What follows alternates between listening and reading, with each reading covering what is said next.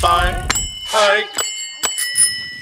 Wahnsinnig schöne Strecke gerade hier in der Saale zwischen Naumburg und Weißenfels. Es ist so schön, dass man es kaum aushält, hat mir gestern eine Teilnehmerin gesagt.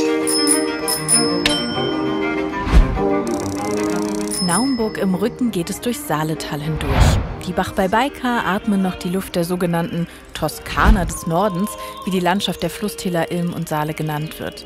Dabei haben sie Bachs Musik im Ohr. Bach ist für mich Heimat.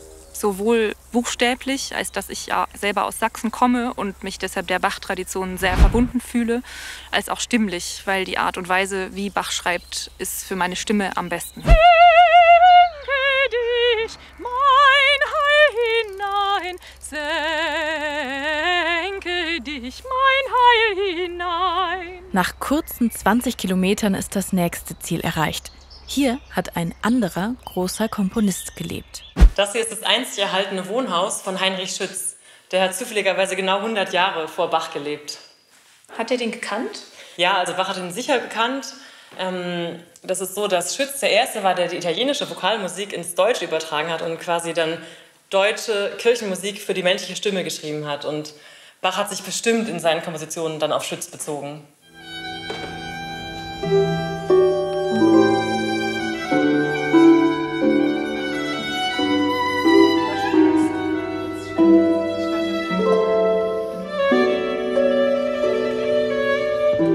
Bach hatte den Titel Hofkapellmeister von Hause aus hier in Weißenfeld. Er war hier also angestellt, hat hier aber gar nie gelebt. Der war in Leipzig und ähm, hat sozusagen Homeoffice gemacht für den Fürsten hier. Und man kennt noch zwei Kantaten, die er für den Herzog Christian hier komponiert hat. Einmal die berühmte Jagdkantate, die war dann unten im Jägerhof, da am Waldrand direkt im Forsthaus aufgeführt.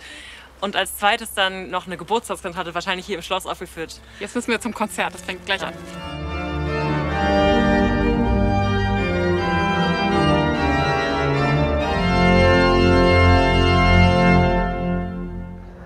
Hier gerade ein wunderbares Konzert in Weißenfels gehört mit lauter Komponisten, die hier rund um 1700 gewirkt haben. Lasst euch überraschen, was in der letzten Folge passiert und wen wir dort in Persona treffen werden.